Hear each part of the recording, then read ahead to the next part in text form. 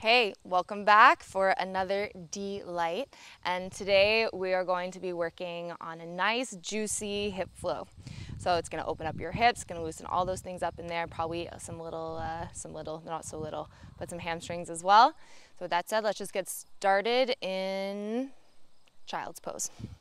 So make your way there. Big toes touch, knees wide, send your hips to your heels. Take your pinky fingers to the edges of your mat. Take a really nice deep breath in, fill the space between the shoulder blades. Let your back body rise, open, and expand. And then exhale, press down. Deep breath in. Big breath out. When you're ready, round and curl. Tuck your toes. Let's go back, down dog. So start to work it out. Bend one knee, straighten the other. Inhale lifts you high to your tiptoes. Exhale melts you down through one heel. And really trying to not so much just get the heel down with a rounded spine, but to really roll and uncurl that low back. So heels don't even have to touch the floor. And I find I'm I am hypermobile, and I find even for myself keeping the knees bent gives you a greater range of motion. You get a deeper stretch with a little bit of a bent knee. We press forward, high plank, and hold. Three, charge it up, wake everything up. Two, good. We go back, down dog. Walk your hands to meet your feet, back edge of your mat. Let's just take a forward fold here. Any arm variation that you like. It can be ragdoll, it can be behind your head, chin to chest, long neck. It can be hands interlaced behind your back, fist falling.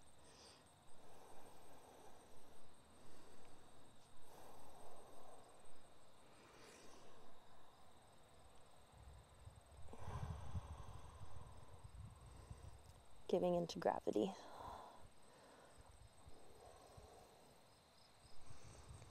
Hands come down to the floor, halfway lift. So you're either pressing away from the ground fingertips, or you come up to your shins, make a long spine, squeeze the shoulder blades, engage the core, belly to spine.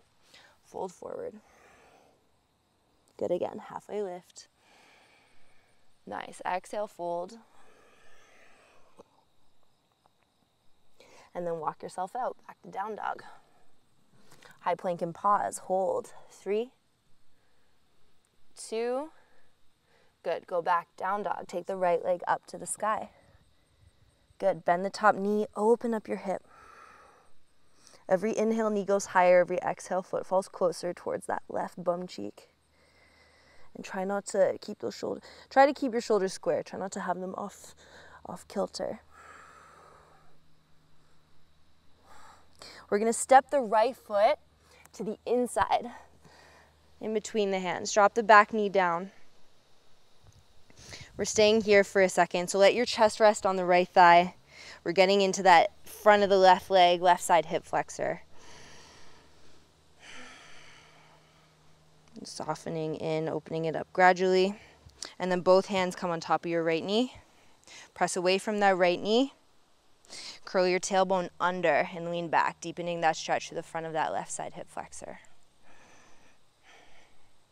Keep that sensation without having to apply that pressure. So create it, squeezing the right heel back, the left knee forward, lengthening up and out of the low belly, pubic bone to belly button, long low back. Inhale your hands up. So we're not all the way down here, it's very active. You should feel this through the left side. We open up to face the right side of the mat. So right hand goes back, left hand goes forward. You can stay here or drop the hand back and exalt. Keep that sensation tailbone under, press out of the front heel.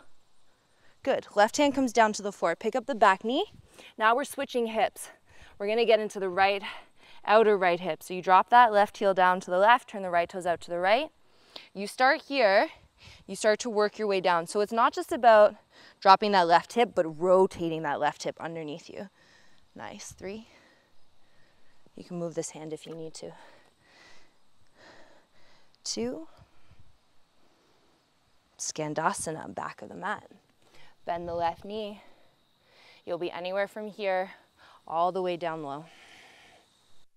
Nice work. Three, Keep that leg active and on. Press the heel down and try to pull it back towards you. Two.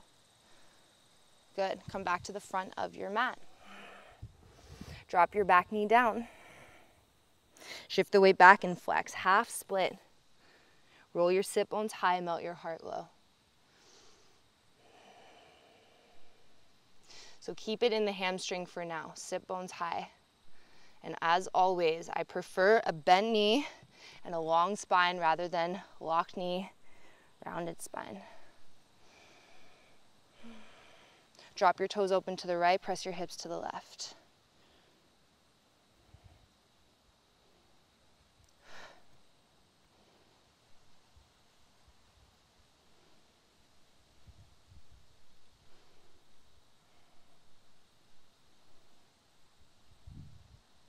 Slowly come back into center, bend forward into this right knee, and let's step back to down dog. Take a second, pedal it out. Deep breath in, big breath out to draw back. Let's press forward, high plank hold. Three, two, good. Slide back, down dog. Take the left leg up as you inhale. Bend the top knee, open up your hip.